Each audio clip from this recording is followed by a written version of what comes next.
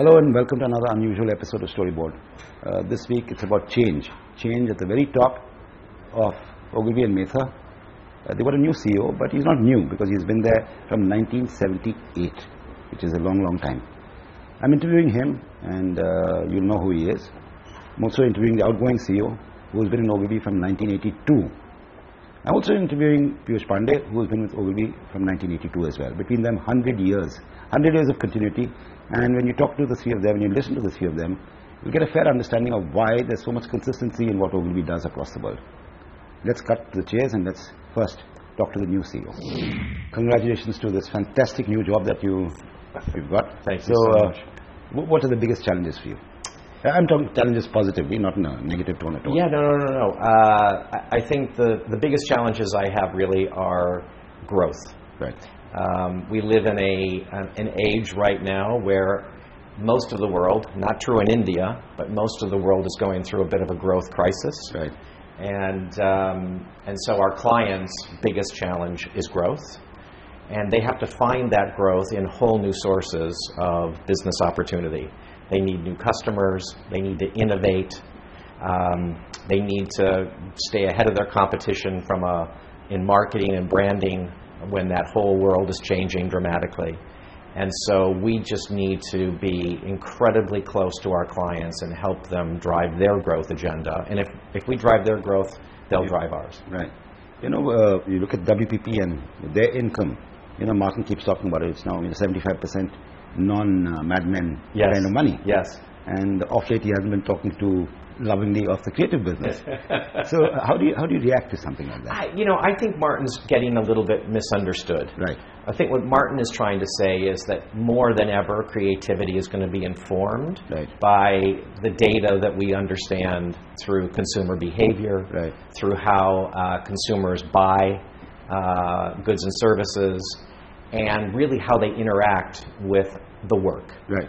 And we know more about that than any time in our history. Right. And I think what Martin is saying is the creative process has to be really connected uh, to that understanding and that knowledge. Right. And with it, then we should be in a really strong position to do more effective work. Right. That's what he's calling for. I think some have, have interpreted it as data and technology is more important than insight and, and creativity. Right. I don't think he believes that for Right. a moment. Right. Now, one of the things he's been, uh, you're inheriting really, is a very strong performance at Cannes and at the award shows. Yes. Is that a gift or is that a punishment? What, what is it? well, the bar keeps getting raised. Right. Uh, in the case of Ogilvy, uh, Right. we won Network of the Year for the fifth year in a row, Correct. which is fantastic. But I think the competition gets harder and harder. Uh, the work is changing more and more. There are more categories in Cannes now than ever before, and I think that's that's a reflection of the industry. There's just much more complexity, much more fragmentation, uh, and therefore it's going to be it's going to be hard to be the best at everything but it's clear to me that uh, the brands that uh, will win in the future will be the ones that can uh, bring content and creativity and, and uh, the technology and data together in new ways to, to be more creative and more effective. When you joined uh, Ogilvy in 1978, it was uh, easy to define your competition. You know, there were Thompsons and there's Exactly. Lowe and so on. Who is your competition today? It's everybody. So on any given day, I'm competing against the major management consulting firms Accenture, Deloitte, McKinsey, Bain for high end strategy and, uh, uh, and, and business advice giving. And I'm also competing with the upstart entrepreneur in a garage somewhere who's got a new idea, a new technology, a new app. Uh, and so, and it's everything in between. And, and that's, to me, in a way, an opportunity because clients are finding it very hard to cope with all that fragmentation. The Ogilvy brand is a very strong brand. We're known for a diversity of, of communications and creative services.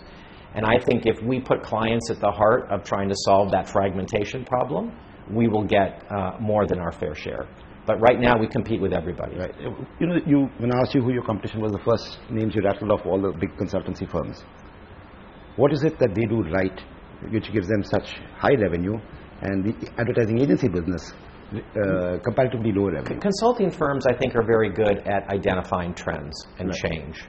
Um, you know, they have to go in and diagnose client problems, and they often do that in the largest context of how clients need to compete. And, and so they start with a bit of an advantage because they have a view of where the world is going and where clients may be falling short in, in meeting those challenges. But what they don't do as well, in our judgment, is they don't execute their thinking through the entire myriad of marketing and communications uh, channels. That's not, that hasn't historically been their core business. They are certainly trying to do more of that. They're acquiring a lot of firms, a lot of digital firms, so that they can do more of the execution, not more of the, not just the strategy. But I think we will find that we're going to compete in a much more, in a much more um, uh, horizontal way with them, from thought leadership right down to Will, how you that execute. see your revenues go up, your yields go up, sorry. That's right, and I think and I think we we know that we cannot uh, meet our own business ambition if we aren't dealing with the most senior clients in in, in their organizations uh, on the thought leadership that they that they demand. And and Ogilvy has always been well positioned in that. David Ogilvy was loved in the boardroom, Right. And and I think we've maintained that over time. So what, what, are, what are the few things that you will focus on once you get into your hot seat? Well, the most important thing I'm focusing on now is seeing the world. Right. Um, I'm an American. Sometimes Americans are accused of viewing the world from their desk. That's not me. Um, the benefit I've had in 37 years at Ogilvy is I've gotten to work all around the world. Um, I was in client management and general management in Asia in the in the mid 80s to the early 90s. I've worked on global clients almost my entire career. I'm used to traveling the world, seeing the world for what it is, not what we would like it to be. And so I'm now coming to India and many other parts of the world with a view of, okay, now it's on my shoulders. I'm now responsible uh, to make sure that this global network uh, is, is getting all the support that it needs in this era of great change and great fragmentation. And I need to listen intensely as to the, the experiences that are happening on the ground. So what is your final expectation of India? Since you're here in India, what do you expect India to do to help you do so, your job right? So India has been a jewel in the crown for since I joined the company and well before. Um, incredibly successful market, great work, amazing leadership, um, and that's going to continue. But I have another prediction for India, in that I believe India is going to show the rest of the world how to leapfrog on a variety of things. First of all, I think the world is getting more local in a way. Uh, the new age consumer has a much more emotional connection to their local culture, their religions, their, their beliefs and, and, and practices. Never has that not been true in India. And how the Indian market has uh, addressed that in terms of creativity and strategic thinking, I think is going to help uh, us around the world. The other thing is that in India, we serve a local market, but we also do work in India that serves beyond that. So our production hubs and our technology that we're investing here in India is going to help markets around the world become more efficient and more effective in our, in our delivery. And then finally, I think we have extraordinary management here. The India company is not just great in its business sector, it's great in the country. And I want it to be a model of leadership for many, many other markets around the world in terms of how to build that trusted brand um, in, a local, in a local context and deliver a global quality standards. You won't find a better market in the world than India for doing that. Perfect. Thank you so much and all the best in your new responsibility. Thank you very and hope to much. see you as soon as I possible. in look forward to coming back and you. seeing you again. Thank you. Thank you. We're going to take a short break here. When we come back, listen to Miles Young and then after that with Piyush Pandey.